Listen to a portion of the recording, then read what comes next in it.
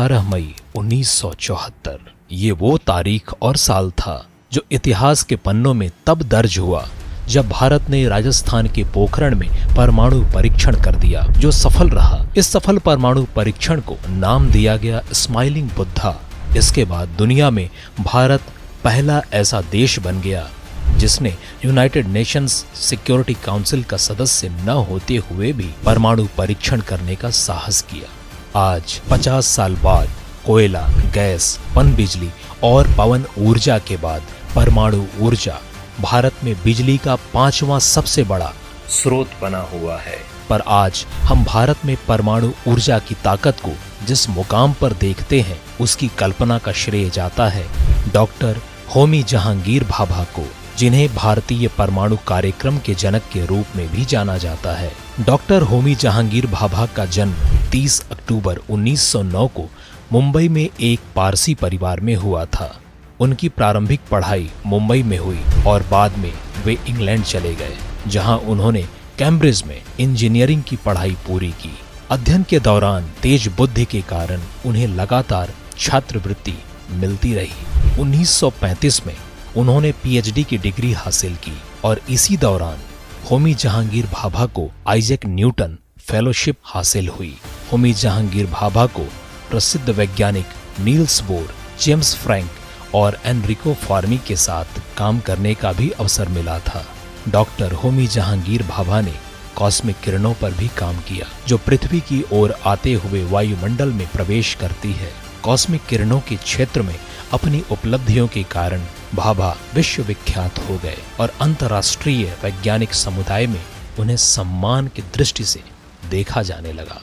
दूसरे विश्व युद्ध के प्रारंभ में वर्ष उन्नीस सौ उनतालीस में होमी जहांगीर भाभा इंग्लैंड से भारत आए और बेंगलुरु के इंडियन स्कूल ऑफ़ साइंस से जुड़ गए और वर्ष 1940 तक उसी में रीडर पद पर नियुक्त रहे।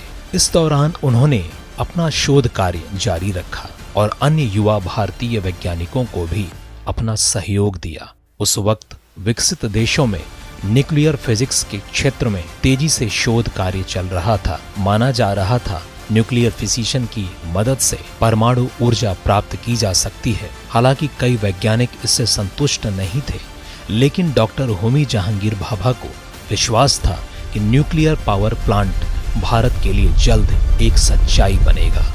डॉक्टर होमी जहांगीर भाभा का मानना था कि भारत में परमाणु ऊर्जा को वास्तविक रूप देना है तो उसका तकनीकी ज्ञान भी उतना ही ज़रूरी है। इसके लिए उन्होंने 1945 में टाटा ट्रस्ट से मदद लेते हुए Tata institute of fundamental research की स्थापना की, जिसका भविष्य में लगातार विकास किया गया और आज दुनिया में इंस्टीट्यूट का एक महत्वपूर्ण स्थान है। 1947 में जब देश स्वतंत्र हुआ तो देश के विकास की योजनाएँ बननी शुरू हो गई थी। अप्रैल 1948 में तत्कालीन प्रधानमंत्री जवाहरलाल नेहरू ने भाभा के अनुरोध पर संविधान सभा में परमाणु ऊर्जा अधिनियम को कानून बनाने के लिए सहमति व्यक्त की, जिससे भारतीय परमाणु ऊर्जा आयोग का गठन किया गया।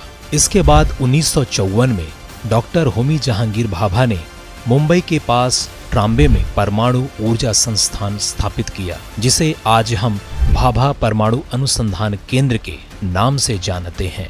यहाँ पर सन 1956 में भारत का पहला रिएक्टर स्थापित किया गया, जिसका नाम अप्सरा रखा। यह भारत के लिए विशेष गौरव की बात थी। इस रिएक्टर का डिज़ाइन और निर्माण होमी जहांगीर भाभा के नेतृत्व में भारतीय वैज्ञानिकों और इंजीनियरों द्वारा किया गया था। 1955 में डॉक्टर होमी भाभा जेनेवा में संयुक्त राज्य संघ द्वारा आयोजित शांतिपूर्ण कार्यों के लिए परमाणु ऊर्जा का उपयोग सम्मेलन में शामिल हुए, वहाँ कनाडा ने भारत को परमाणु रिएक्टर बनाने में सहयोग देने का प्रस्ताव दिया, जिसके बाद कनाडा के सहयोग से साइरस परियोजना प्रारंभ हुई। इस रिएक्टर का उपयोग न्यूट्रॉन, भौतिकी प्राणी शास्त्र रसायन शास्त्र और रेडियो आइसोटॉप के निर्माण में किया जाने लगा। साइरस परियोजना 1960 में पूरी की गई। अपनी प्रतिभा और विज्ञान की नई उपलब्धियों के कारण डॉक्टर भाभा को अनेक सम्मान से भी सम्मानित किया गया, जहाँ 1941 में उन्हें रॉयल सोसाइटी ने फेलो निर्वाचित किया।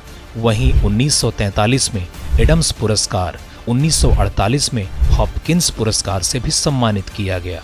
डॉक्टर होमी जहांगीर भाभा को अनेक विश्वविद्यालयों ने डॉक्टर ऑफ़ साइंस जैसी उपाधियों से भी विभूषित किया। उन्नीस सौ चौवन में भारत के राष्ट्रपति ने डॉक्टर भाभा को पद्म भूषण से अलंकृत किया। डॉक्टर होमी जहांगीर भाभा के मरणोपरांत 12 जनवरी उन्नीस को प्रधानमंत्री इंदिरा गांधी ने the atomic energy establishment Trombay ए का नाम बदलकर भाभा परमाणु अनुसंधान केंद्र बीएआरसी कर दिया गया।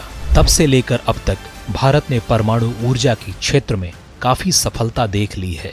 आज देश में वर्तमान में 24 परमाणु ऊर्जा रिएक्टरों की कुल स्थापित परमाणु ऊर्जा क्षमता 8,180 मेगावाट है जो 2031-32 तक तीन गुनी हो जाने का अनुमान है। आज इस सपने को हकीकत में देखने का श्रेय असाधारण प्रतिभा के धनी डॉक्टर होमी जहांगीर भाभा को ही जाता है जो सिर्फ़ सपने देखने में ही विश्वास नहीं करते थे, बल्कि उन्हें पूरा करने में जुट जाते थे। उनके अथक प्रयासों का ही परिणाम है कि आज भारत परमाणु संपन्न राष्ट्र की श्रेणी में गिना जाता है। भारत उनके महत्वपूर्ण योगदान का सदैव ऋणी रहेगा। भारत देश को सर्वश्रेष्ठ बनाने की उनकी सोच सदा वंदनीय है। हम डॉक्टर होमी जहांगीर भाभा की सृजनता तथा उनकी दूरदर्शी सोच को शत शत नमन करते हैं।